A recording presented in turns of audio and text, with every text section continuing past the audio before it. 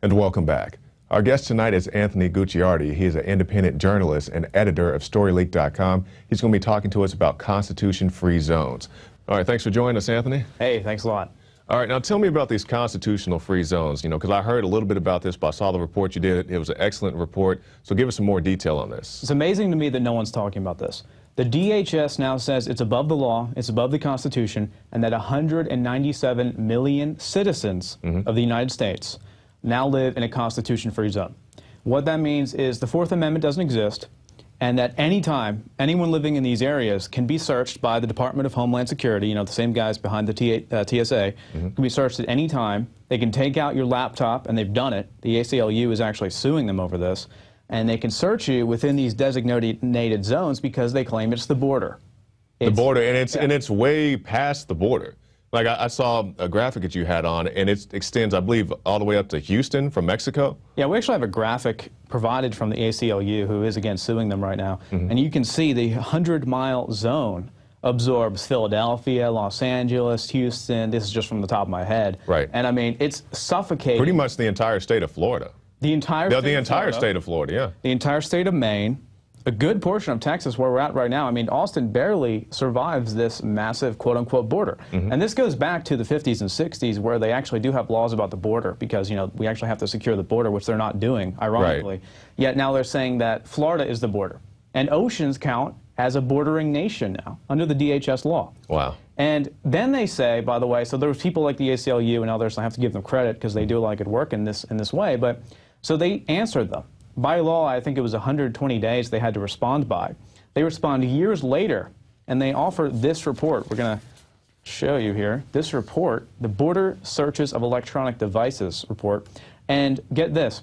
They said, yeah, we'll independently review what's going on. We'll see if it's constitutional. We'll see if it's protecting America. Mm -hmm. They reviewed themselves. Of course. Just like uh, the Department of Justice. You know, Obama said, you guys can review yourselves and tell me what you think about it. Exactly. So they, they reviewed themselves and they said, we're acting 100% within the law, and the Constitution doesn't apply to these people because it's on the border. So now, literally, literally, you do not have a Constitution if you are in this 100-mile border. And, and think about this, though. That's the Fourth Amendment. Mm -hmm. What happens when they want to say you don't have a First Amendment because you're on the border? A Second oh, yeah. Amendment. Oh, they yeah. can declare that at any time. They're just initiating this Fourth Amendment phase, but in years, months, weeks, days, whatever, they could say the First Amendment doesn't apply, the whole Constitution doesn't apply now in these zones, and no one is talking about this. Besides, there is one piece, a Wired article on this that said it. And you guys are hosting yeah, I believe we have that, that article yeah. as well. Exactly. And it's it's such a horrible thing because we have people on like Pastor Steven Anderson out of out of Arizona, and you know he goes through and he encounters a lot of checkpoints, and they say, "Well, this is the immigration checkpoint." He's like, "I'm in the United States. Is am I immigrating somewhere, officer? I thought I was driving down the street to my house in Arizona, not to Mexico." But this is what they do. They stop you, they harass you. And Alex has gone to the border. He did a report, and you can see people free and easy just walking across the border on their horses and so forth, and nobody's stopping them.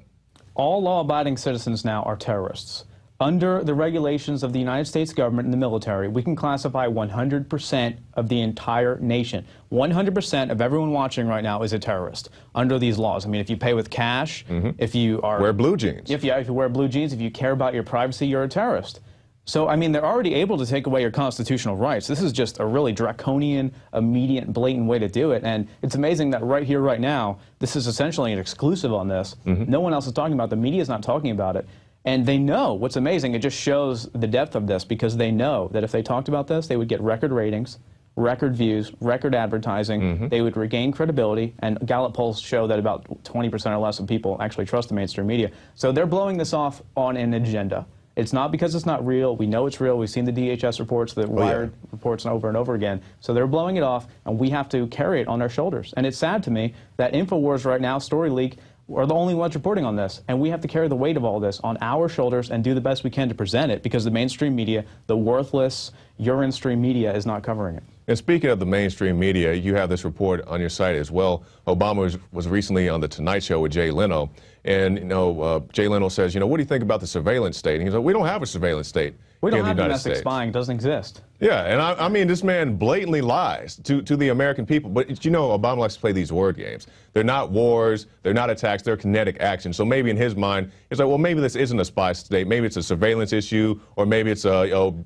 duck and hide issue, peek in your windows issue, whatever word game he chooses to play. And you had something on your side about that as well. Yeah, well, check that out. The surveillance state, that's important, everything like that. But he goes on and he bashes Russia and says that they're still in a Cold War state and that they're, you know, Putin is, uh, he's the next Hitler. Jay Leno said, you know, I see that he's gathering up the gays and, and he's going to be the next Hitler. That's what I've seen with Hitler and Stalin. And they're comparing him to Hitler and everything like that. Meanwhile, Obama is funding as Alex has talked about, no one else talks about this. I've written a report on this where they, the Washington Times says that the, the Syrian rebels go around killing Christians and beheading them to screaming barbaric fans who are in a bloodlust. So he is funding these Syrian rebels going around killing innocents, killing Christians, unless they convert to their mission 100% and pay a massive tax that sends them into bankruptcy over there. Mm-hmm. And then he's saying that Russia are the bad guys for going after the gay community. oh, yeah. And, and, and also think about the Austin thing, the whole entire issue with the Austin Police Report on Infowars.com, where it says there's going to be a potential terrorist attack and everything like that. But then they redacted the report saying, no, that wasn't meant for a public consumption. Sure, it's all lies though because they also shut down the embassies. Mm-hmm. But they don't tell you about how Obama is funding Al Qaeda through these Syrian rebels, and then Al Qaeda is issuing the threats, and then they act like Al Qaeda are the bad guys. So, depending on the mainstream media scope, Al Qaeda are either their, your, our worst enemy or our best friend. So it depends on the propaganda stream of that day. It depends where they want to funnel the anger, the rage, the you know overall bloodlust of the American people. So we're funding Al Qaeda, and then they're also going around killing all the Christians and everything like that. No one wants to talk about it. It's too hot of an issue. And again, the mainstream media could have record ratings, record advertising, record views if they talked about it, but they don't want to. And then we're funding them, and then we're afraid of them afterwards. Yeah, and that's what I said. We went out to uh, the American Idol tryouts, and I was talking to this lady, and I was explaining it to her, and I guess maybe this is the first time she actually, you know, took the time to think about it. And I said, yeah, we're funding the Syrian rebels who are really Al Qaeda, and, and you know, Al Qaeda. That's the reason why they have to pat us down at the airports. That's the reason why they say they have to tap your phone and so forth. And, and she says. Well, that doesn't make any sense. Doesn't don't people have problems with this? I was like, well, I have a problem with this, but most of America seems not to care. I get hundreds of emails when I release reports like this, and they say, This isn't happening. How is this possibly happening? I send them the CNN article where it doesn't talk about how they're killing the Christians or anything. It just says, Do we need to fund them more? You know, it says Obama's pushing to fund the Syrian rebels with anti tank weaponry, other missiles, and All the things they don't want us to have. Obama says we can't have an AK-47. Yeah. Meanwhile, he's sending rounds, guns, everything to the to the uh, to the Syrian rebels. anti-tank missiles Mm-hmm. that they can use on our tanks. Yeah, That Al Qaeda is getting and then going and fueling the war in Afghanistan by blowing us up. yeah. And then also, the, the issue, though, isn't should we fund them? Because no one even knows who the Syrian rebels are. I bet if we did a poll, like 1% of the nation would even know what we're talking Yeah. about. But they don't talk about should we fund them, it's are we funding them enough? Yeah. How, That's how much is too much? Uh, do they not have enough ammunition to use on Christians and burn down villages and so forth? Evil Assad, though. You know, in, in order to get to Assad, they pretend that they have to go to these Christian villages, and there's videos online. Mm-hmm. They will slice off the little child's head, and they use 14 year old child soldiers, too. Yeah, we shown that video of the kid playing with the dynamite. He was running down the street with the AK. Mm-hmm. Oh yeah, but th- they, nobody wants to talk about that. Nobody wants to talk about that because that's the real issue. And then he's busy blasting Putin over Snowden and all that. It's all distractionary. Even even though the media, by the way, they were like, "Wow, Jay Leno was really hard hitting with his questions."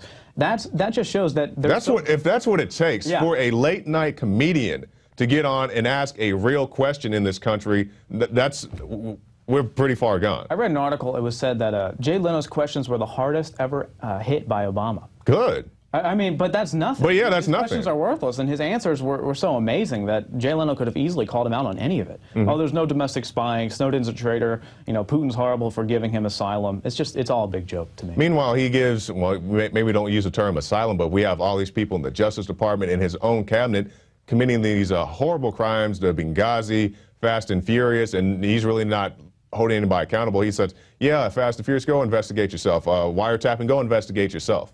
You could say this. You could say that Russia is having asylum for whistleblowers like Snowden.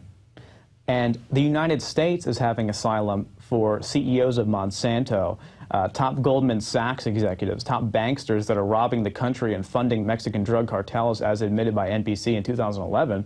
So, I mean, we are, we are hosting the criminals of the world.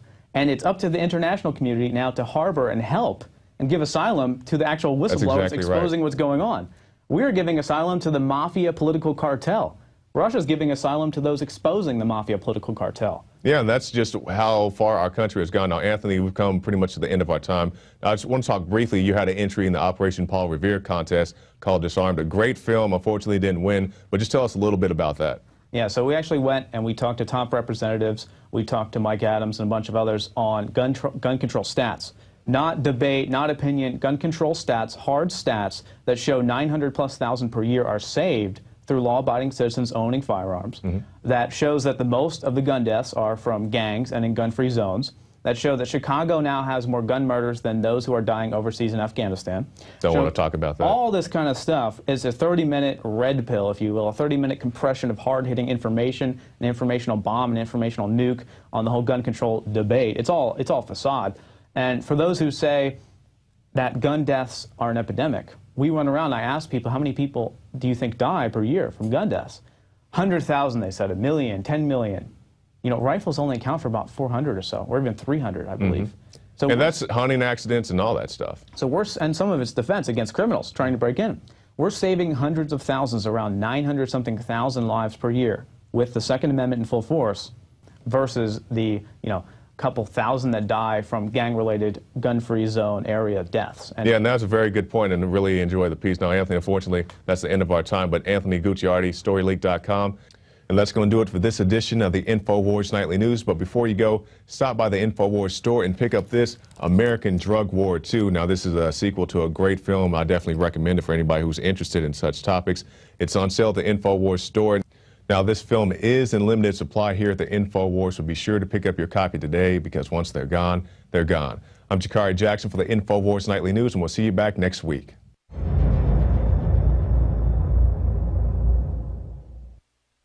Now you can watch The Alex Jones Show live as it happens at Infowars.com slash show. You'll find links to all of our content there and a free 15-day trial for Prison Planet TV.